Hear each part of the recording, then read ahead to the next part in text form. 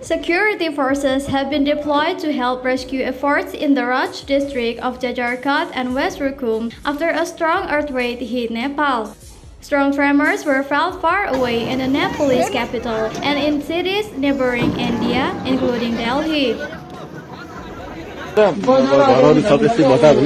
Hundreds of residents reported affected by the earthquake.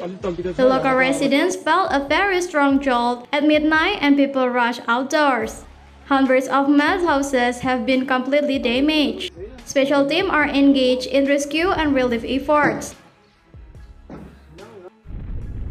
Three more tremors were felt within an hour of the quake, and many people have spent the rest of the night in the open because of fear of further quakes and damage to their houses. Video footage on social media showed crumbled facades of multi-storied brick houses. People were pictured scattered in posts on social media. UNICEF Nepal said that they were assessing the damage and residents affected. Nepal's prime minister arrived in the affected region on Saturday after expressing his deep sorrow. On social media platform X, he said he had ordered security agencies to immediately launch rescue and relief operations.